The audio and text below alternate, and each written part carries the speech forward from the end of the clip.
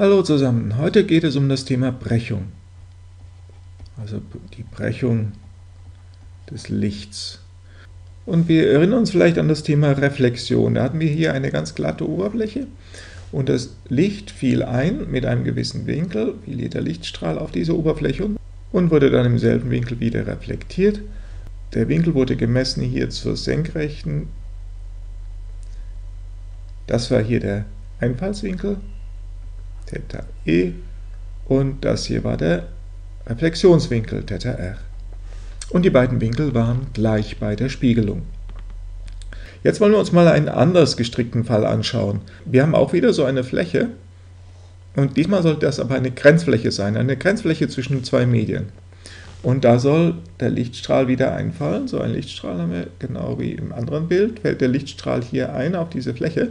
Wir haben also oben ein Medium, das mag, könnte zum Beispiel das, das Vakuum sein. Nehmen wir mal das Vakuum, da ist das Licht am allerschnellsten. Darunter, das könnte zum Beispiel Wasser sein. Obwohl Wasser ist eigentlich schmal. Wasser kann überhaupt nicht ans Vakuum angrenzen. Es würde ja sofort verdampfen und sich da sozusagen im ganzen freien Raum verteilen. Nee, also Quatsch, gehen wir nochmal zurück. Nehmen wir nicht Wasser, nehmen wir, nehmen wir irgendeinen festen Stoff. Nehmen wir Glas hier, Glas, das ist ja realistisch. Wir fahren da mit einem Raumschiff und da fällt ein Lichtstrahl von außen an das Fenster. Und es ist die Frage, wie geht der Lichtstrahl weiter hier in dem Glas? Und tatsächlich wird es so sein, na, nehmen wir erst, machen wir erstmal die Senkrechte hier.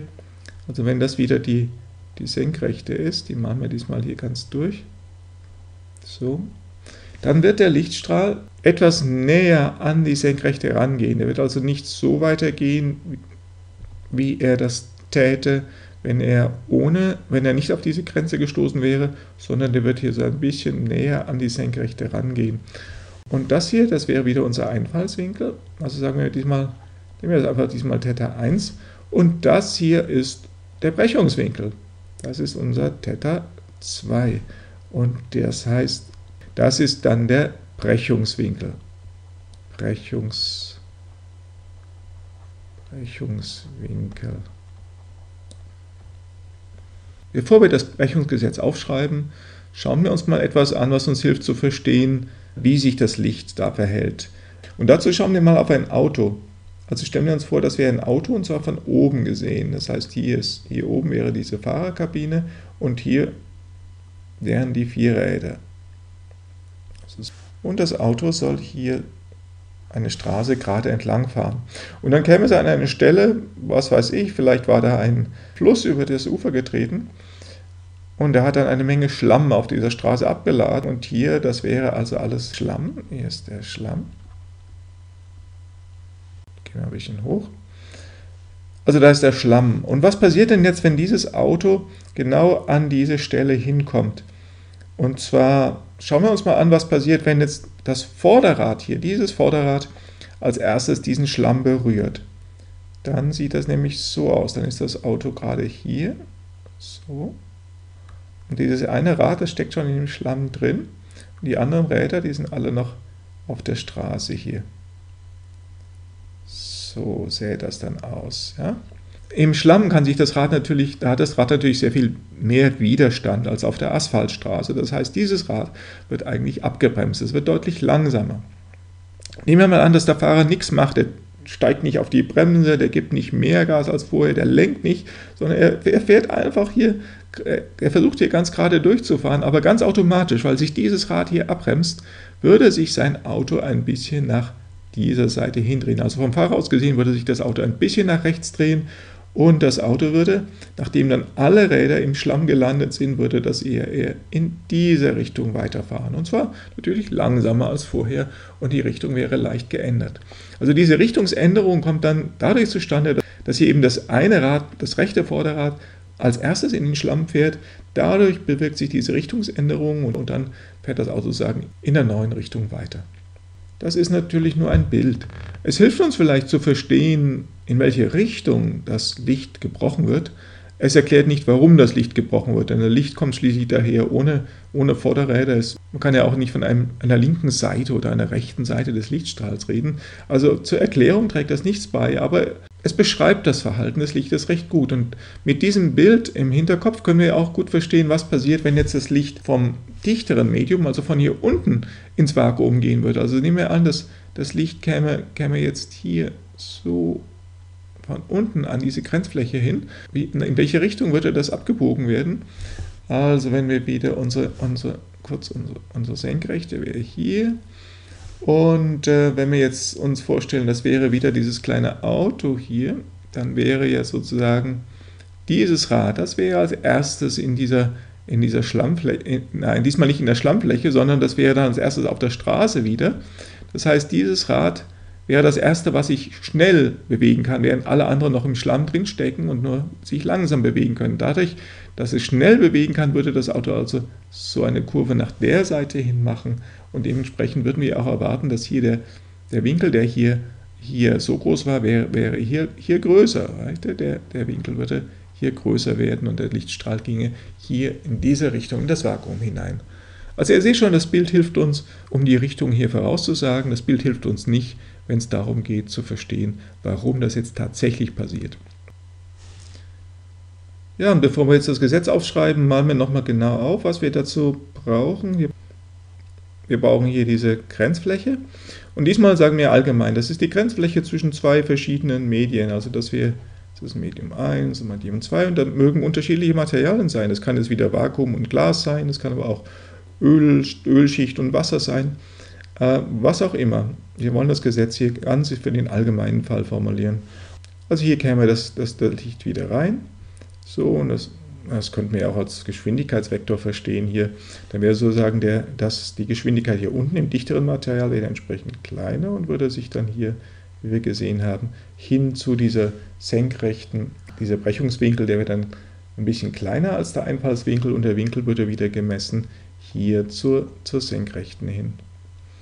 Und der Einfallswinkel wäre, wäre das hier, das wäre mein Theta 1 und der Brechungswinkel wäre das hier und das wäre unser Theta 2. Die Geschwindigkeit hier, also die Geschwindigkeit des Lichts in diesem Medium, das wäre hier oben ein V1 und hier unten die Geschwindigkeit ist mein V2. Ihr seht schon, das da kommt diese materialabhängige Komponente hin.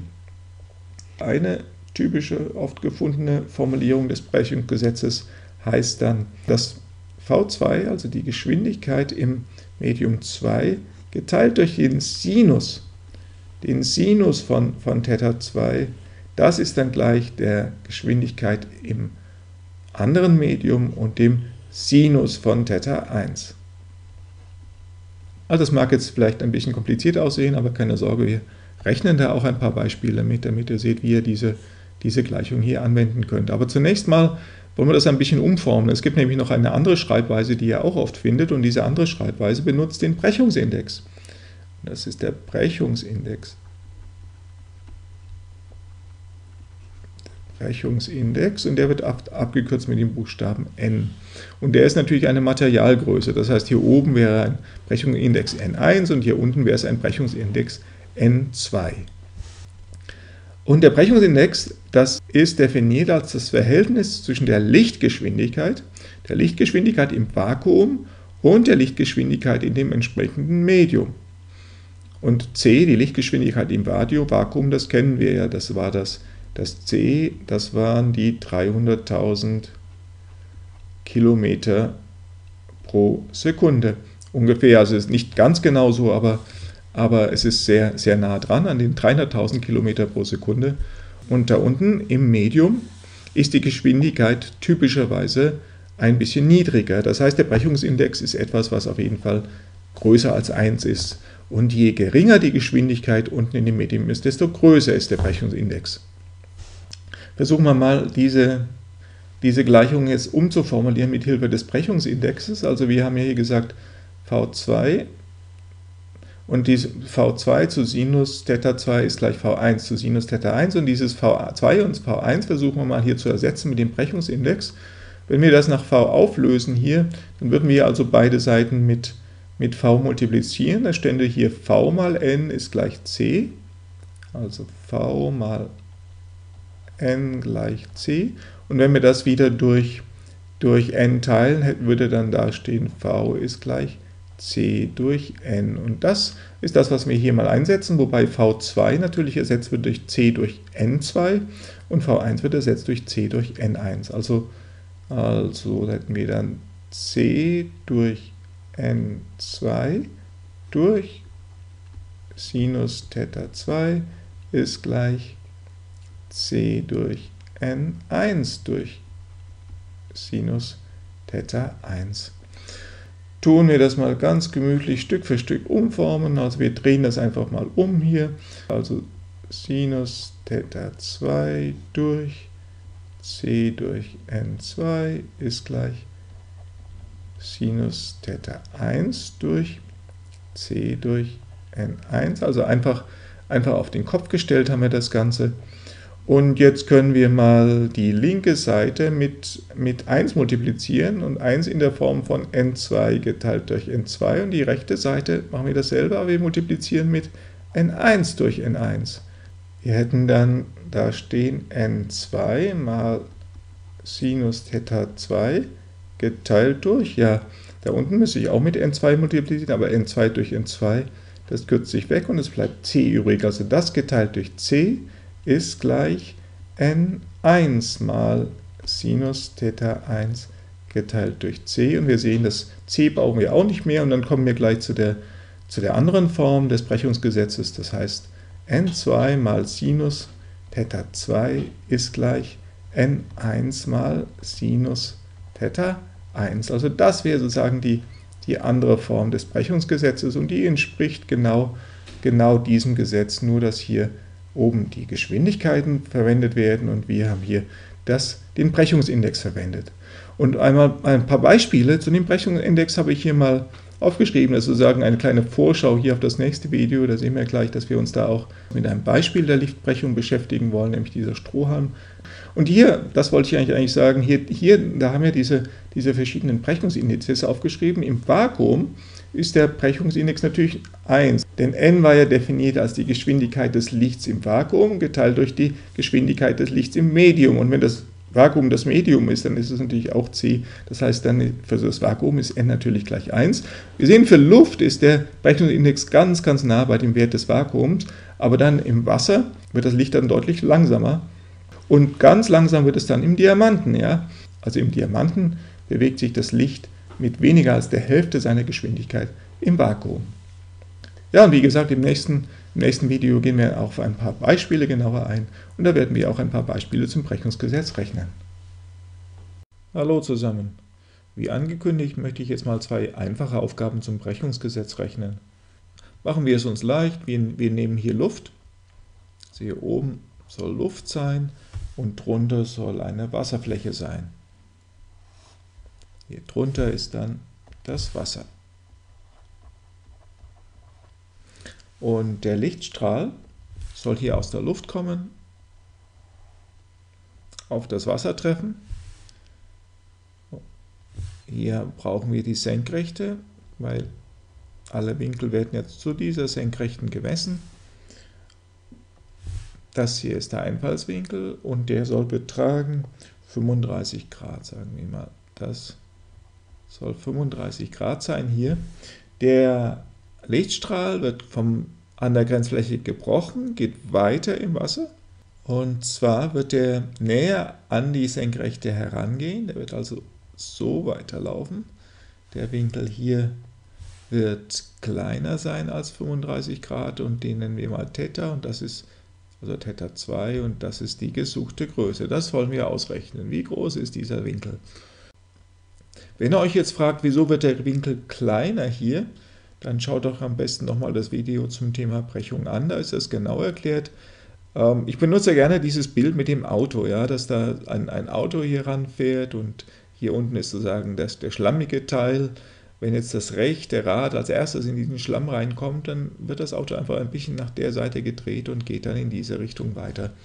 Das Brechungsgesetz gab es ja in zwei Formen. Wir benutzen mal die Formel mit dem Brechungsindex, weil wir haben hier schön diese Indizes ja schon, schon vorgegeben. Das Brechungsgesetz in dem Fall würde ja lauten, wir haben den Brechungsindex von der Luft mal dem Sinus von den 35 Grad, von dem Einfallswinkel, ist gleich der Brechungsindex vom Wasser mal dem Sinus von unserem unbekannten Winkel Theta 2. Und wenn wir das einsetzen, der Berechnungsindex von der Luft, den können wir ja hier als 1 einsetzen, weil so genau rechnen wir ja gar nicht, dass wir jetzt diese fünfte Stelle hinter dem Komma hier bräuchten. Also 1 mal Sinus 35 Grad. Und der Berechnungsindex vom Wasser, das war unsere 1,33, also ist gleich 1,33 mal dem Sinus unseres gesuchten Winkels. Und wenn wir beide Seiten jetzt mit 1,33 teilen, dann kriegen wir hier Sinus 35 Grad geteilt durch 1,33. Das ist gleich, das hat sich weggekürzt und es bleibt hier übrig Sinus Theta 2. Dazu könnten wir jetzt mal einen Taschenrechner gebrauchen. Also hole ich mir jetzt mal hier den Taschenrechner raus aus dem HP-Museum rechnen wir uns mal den Sinus von, also habe ich hier 35 Grad und den Sinus davon, das sind die 0,57 und das muss ich jetzt teilen durch 1,33 geteilt durch ist gleich 0,43. Also da bleibt dann stehen 0,043. Das ist mein Sinus Theta 2. So, und jetzt wissen wir auch, wozu wir die Umkehrfunktion des Sinus brauchen können, diesen, diesen Arcus-Sinus, genau für so eine Situation. Wenden wir einfach den Arcus-Sinus hier auf beide Seiten an, dann haben wir hier stehen also der Arcus-Sinus von 0,43 ist dann gleich der Arcus-Sinus vom Sinus und nachdem Arcus-Sinus die Umkehrfunktion des Sinus ist, hebt sich das auf und es bleibt übrig der Winkel Theta 2. Und das geht mit dem Taschenrechner natürlich auch super einfach. Da brauche ich bloß hier diesen Sinus hoch minus 1 tippen und dann kriege ich schon den Wert in Grad dieses Winkels Theta 2 raus. 25,5 Grad, so groß sollte der sein. Also hier habe ich also 25,5 Grad, das ist mein Winkel Theta 2. Ja, ihr seht schon, Berechnungsgesetz sah komplizierter aus, als es eigentlich ist. Damit lässt sich doch eigentlich recht gut rechnen. Machen wir gleich noch ein zweites Beispiel dazu. Diesmal, diesmal sagen wir, wollen wir ein Vakuum haben. Also hier, hier soll das Vakuum sein. Das Vakuum. Auf der anderen Seite, gut, da sagen wir mal, haben wir ein unbekanntes Material, das kennen wir nicht. Also mein Material, Fragezeichen. Das ist das das können wir vielleicht aus dem Verlauf der Strahlen, der Lichtstrahlen heraus bestimmen. Ja? Wir könnten ja einfach mal sagen, wir nehmen den Lichtstrahl, der soll hier so an die Grenzfläche hinkommen. Hier machen wir wieder unseren, unsere Senkrechte rein, senkrecht zu dieser Fläche. Das heißt, wir haben den Einfallswinkel hier und den Einfallswinkel, den sagen wir mal, das sollen die 30 Grad sein. Und der Lichtstrahl wird dann gebrochen auch wenn wir das Material nicht kennen, dann wissen wir doch, dass es dichter ist als das Vakuum. Also das, so viel steht auf jeden Fall mal fest. Und weil es das dichtere Material ist, heißt das, dass der Winkel, wenn der, dass der Brechungswinkel also größer ist als, als der Einfallswinkel. Das heißt, dass der Lichtstrahl wird in diese Richtung hier vielleicht gebrochen und dann habe ich hier den Brechungswinkel und der wird auf jeden Fall und äh, der wird größer sein als 30 Grad und den nehmen wir mal an, das soll mal 50 Grad sein. Sagen wir mal, der Brechungsindex hier, das sollen 50 Grad sein. Und aus diesen Angaben kann ich dann den Brechungsindex von diesem Material bestimmen und vielleicht kriege ich dann raus, wenn ich in dieser Tabelle hier nachschaue, vielleicht kriege ich dann raus, um was für ein Material es sich da überhaupt handelt. Das Brechungsgesetz lautet, wie, nehmen wir das wieder, wieder in der Form wieder oben, das würde dann leisten, also für den einfallenden Strahl wäre sozusagen das, der Brechungsindex dieses unbekannten Materials mal dem Sinus 30 Grad. Das ist der Brechungsindex dann vom Vakuum mal dem Sinus des, äh, des Brechungswinkels. Das sind ja die 50 Grad. Und äh, das heißt, der Brechungsindex des Materials mal Sinus 30 Grad. Gut, der Brechungsindex des Vakuums, das ist nun gerade gleich 1. Das ist dann also direkt der Sinus von 50 Grad. Jetzt kann ich durch Sinus 30 Grad teilen. Das heißt, ich habe dann schon meine, mein, den Brechungsindex des Materials. Das ist dann Sinus von 50 Grad geteilt durch Sinus von 30 Grad. Da hole ich nochmal den Taschenrechner raus. 50 Grad, 50 Grad den Sinus, das sind 0,776 und da möchte ich teilen durch den Sinus von 30 Grad, das waren doch, doch 0,5, ja, 0,5 waren das. Und wenn ich das teile, dann bleibt mir 1,53 hier stehen. Also mein Brechungsindex NM, das ist gleich 1,53 Jetzt können wir mal nachschauen, finden wir den Wert vielleicht da oben auf der Tabelle? Ja, tatsächlich. Glas 1,52, das liegt da in der Nähe. Das dürfte also irgendeine Glassorte sein, hier unser unbekanntes Material. Dann würde das mit den 30 und 50 Grad wunderbar hinkommen. Wir können sogar noch was ausrechnen. Der Brechungsindex war ja die Geschwindigkeit des Lichts im Vakuum geteilt durch die Geschwindigkeit des Lichts im Medium. Und wir können dadurch auch mit Hilfe dieses Brechungsindex die Geschwindigkeit des Lichts in diesem Material hier ausrechnen. Also wir drehen das bloß um, dann hätten wir hier V ist gleich C durch N durch den Brechungsindex.